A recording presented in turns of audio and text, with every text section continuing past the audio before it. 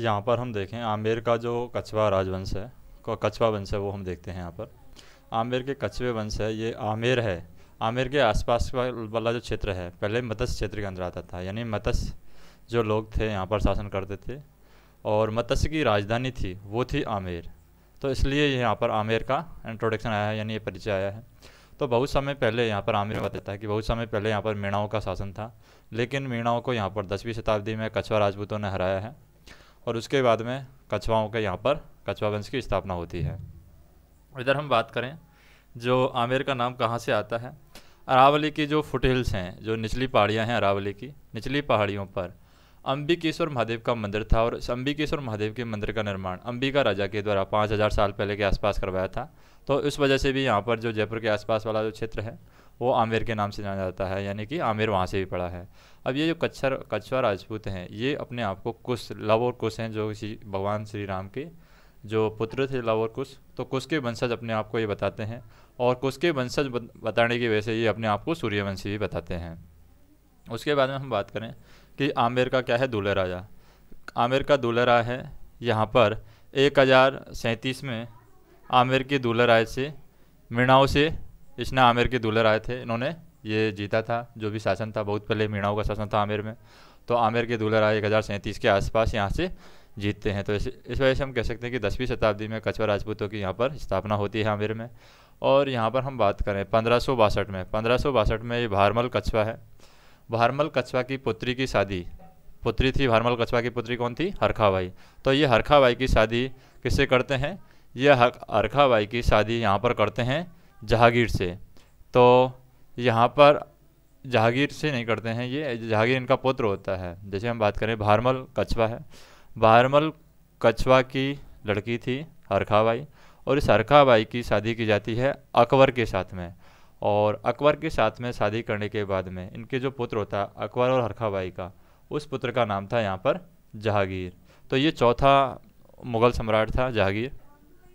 और यहाँ पर उपाधि की बात करें तो यहाँ पर जो अकबर के द्वारा भारमल कछवा को जो उपाधि दी गई है, वो राजा की उपाधि यहाँ पर अकबर के द्वारा भारमल कछवा को दी गई है। और उसके बाद हम बात करें कछवा राजपूत है। कछवा राजपूत के बाद में यहाँ पर जो शासन किया था, वो किया था किसने? सवाई जयसिंह सेकंड ने। तो सवाई जयसिंह सेकंड यहाँ पर शासन करते हैं और सवाई जयसिंह सेकंड के अनुसार योजना से इन्होंने एक जयनगर बसर, शहर है बसाया था। और इस जयनगर का ही नाम बाद में क्या पड़ा है? वर्तमान में जयपुर पड़ा है। और स्टार्टिंग में ये क्या है? शुरू के अंदर ये पीले रंग के कलर से इसकी जो मकान थे, वो यहाँ पर रंगे हुए थे, इसलिए इसको पिंक सिटी भी कहते हैं। तो यहाँ पर पीले कलर से इसके रंग रगे हुए थे। तो योजना के साथ में इसको बनाया गया है जयनगर को, और सवाई जयसिंह के द्वारा इसको बसाया गया है, यानी जयपुर को सवाई जयसिंह के द्वारा बसाया गया है। और हम कछवाओं के महत्वपूर्ण शासकों के बारे में बात करते हैं। सबसे पहले हम बात करते हैं किसकी? भारमल सिंह की। तो भारमल सिंह का जो शासनकाल रहता है पंद्रह से ये रहता है पंद्रह में। ये पहला विवाह, जो मुग़ल विवाह संबंध हुआ था पहला भारमल सिंह के द्वारा किया गया और इन्होंने चकताई खां की सहायता से ये अकबर से मिला था और अकबर से ये अपनी पुत्री हरखाबाई की शादी करते हैं और इनको अकबर के द्वारा जो उपाधि दी जाती है, राजा की उपाधि इनके द्वारा, यानी अकबर के द्वारा भारमल सिंह को राजा की उपाधि दी जाती है और अमीर उल उमर की उपाधि भी यहाँ पर इसके द्वारा, अकबर के द्वारा भारमल सिंह को दी जाती है। फिर बात करते हैं भगवंत दास भगवंत दास का पुत्र था यहाँ पर राजा मान सिंह और यहाँ पर ये दोनों को ही अकबर के द्वारा महाराणा प्रताप को समझाने के लिए भेजा जाता है। भगवंत दास की पत्नी का नाम था भगवंती, जो कि आमेर की थी। और इनका पुत्र था राजा मानसिंह, जो कि 1550 से 1614 तक यहाँ पर अकबर के नौरत्नों में से भी एक था, यानी अकबर के नौरत्नों में यहाँ पर राजा मानसिंह का नाम है। राजा मानसिंह की जो पुत्री थी, राजा मानसिंह की पुत्री थी मनोरमा बाई। तो ये मनोरमा बाई है। इस मनोरमा बाई की शादी होती है किसके साथ में? दारा सिकोई के साथ में। और जब मनोरमा बाई की, जो राजा मान सिंह की पुत्री थी मनोरमा बाई, इसकी शादी राजा, दारा सिकोई के साथ में होती है। तो फिर यहाँ पर शाहजहाँ का जो पुत्र था, शाहजहाँ का पुत्र कौन था? शाहजहाँ का पुत्र था यहाँ पर दारा सिको तो इसके साथ में मनोरमा बाई की यहाँ पर शादी होती है। और उसके बाद में यहाँ पर हम देखें, राजा मान सिंह को जो उपाधि दी गई है, राजा मान सिंह को उपाधि दी गई है, मिर्ज़ा राजा की उपाधि दी गई है इनको। और फर्जंद की यहाँ पर उपाधि दी गई है। अकबर का पुत्र की उपाधि दी गई है। ये अकबर के द्वारा राजमान, राजा मानसिंह को उपाधियाँ दी गई हैं। तो यहाँ पर मनोरमा बाई का विवाह किसके साथ में होता है? दारासिको के साथ में। दारासिका किसका पुत्र है? ये यहाँ पर शाहजहाँ का पुत्र है दारासिको उसके बाद में क्या होता है? महाराणा प्रताप का हल्दीघाटी का युद्ध है, पंद्रह में होता है। और इस पंद्रह के युद्ध में जो सेनापति था, ये राजा मानसिंह था।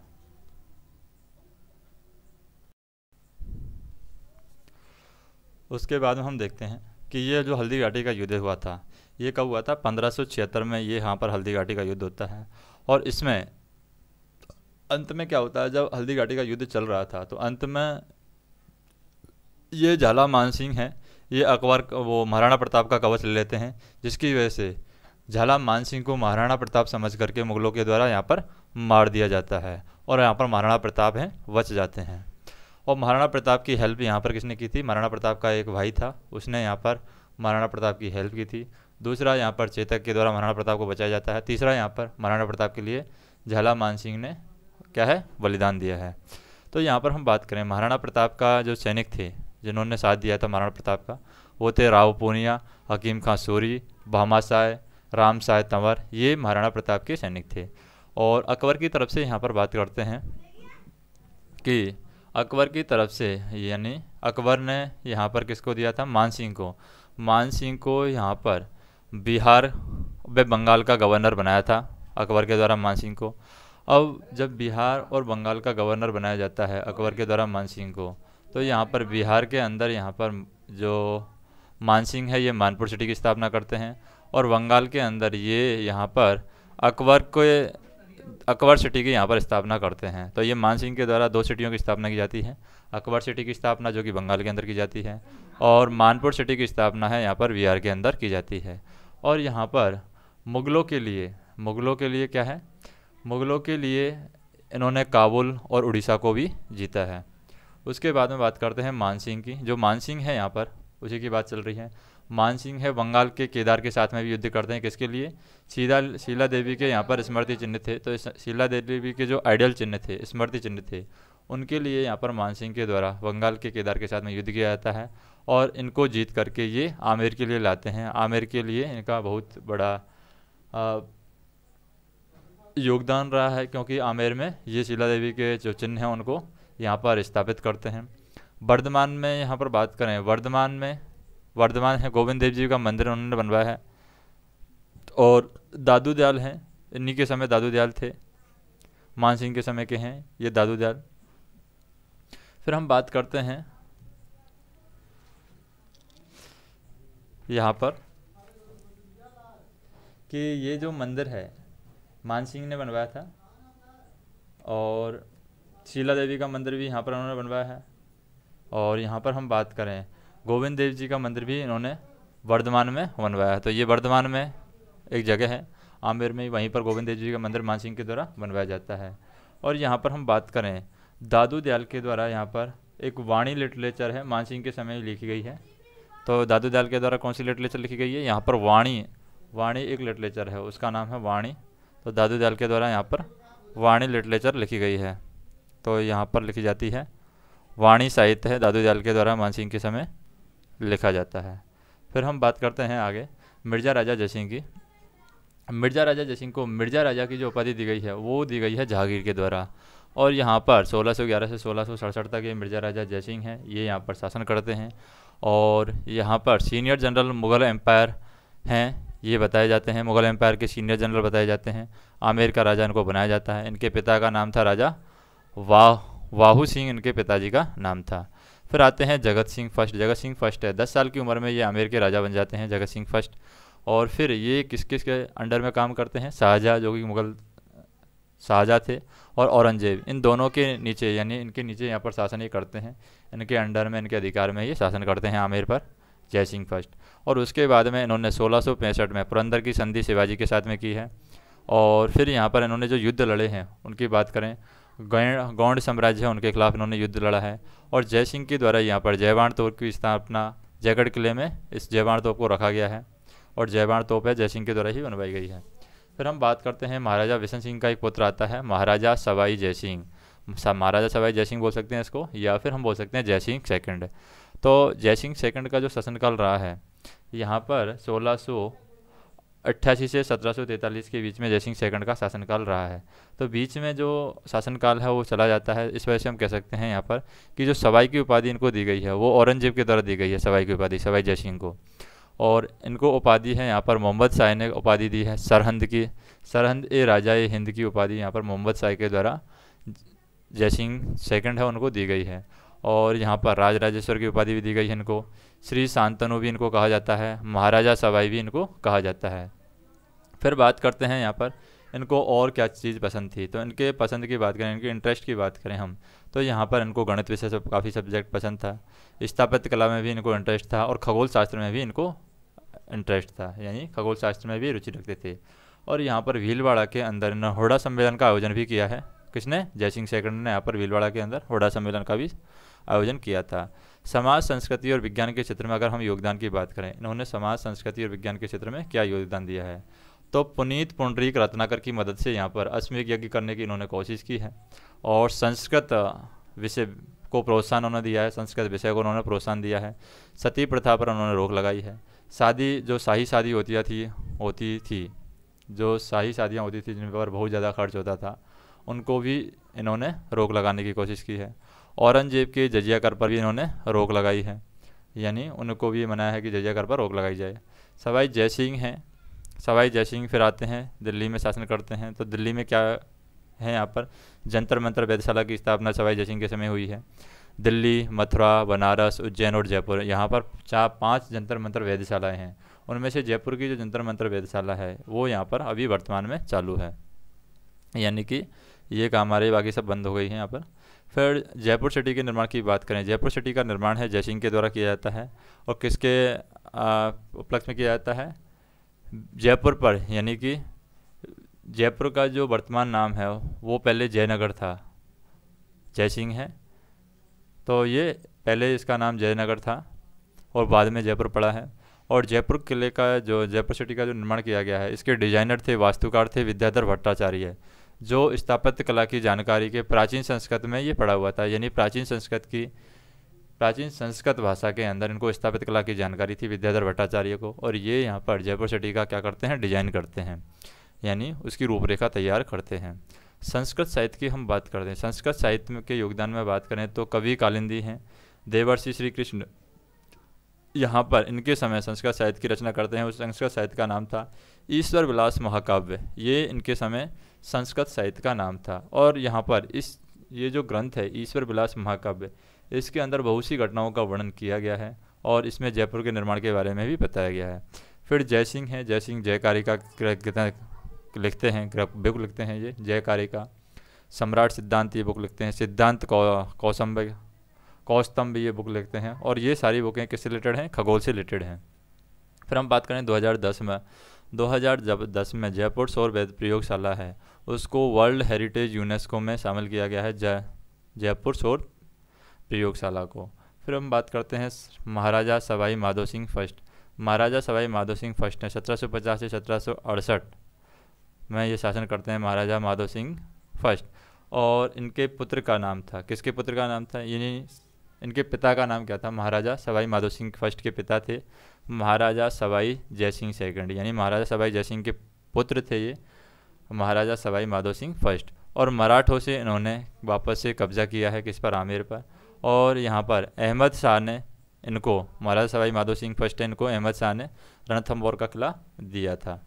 और फिर यहाँ पर वटवार का युद्ध करते हैं कोटा के शासक के खिलाफ रणथम्बोर के लिए। और सवाई माधव, यानी रणथम्बोर जब उनको दे दिया गया था अहमद साहब के द्वारा तो उसको मेंटेन रखने के लिए, यानी कि उसके किले पर शासन करने के लिए कोटा के शासक यहाँ पर आक्रमण करते हैं।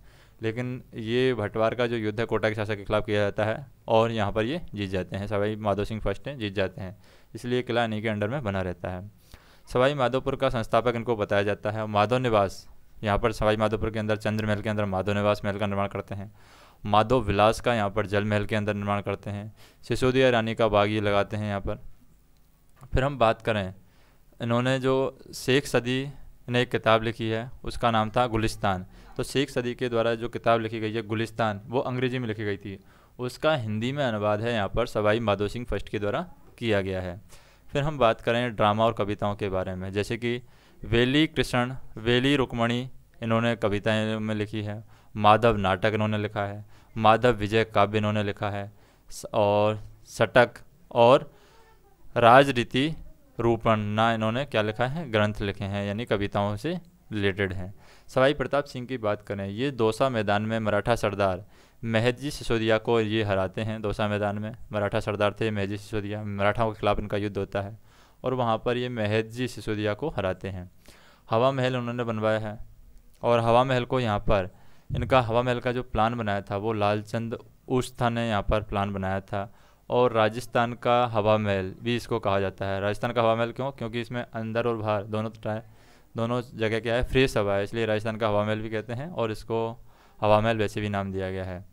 और इन्होंने जो कविता लिखी है, वो व्रज निधि का लेखक है, यानी इनकी कविता है व्रज निधि उनके, उसके भी लेखक हैं ये, सवाई प्रताप सिंह हैं।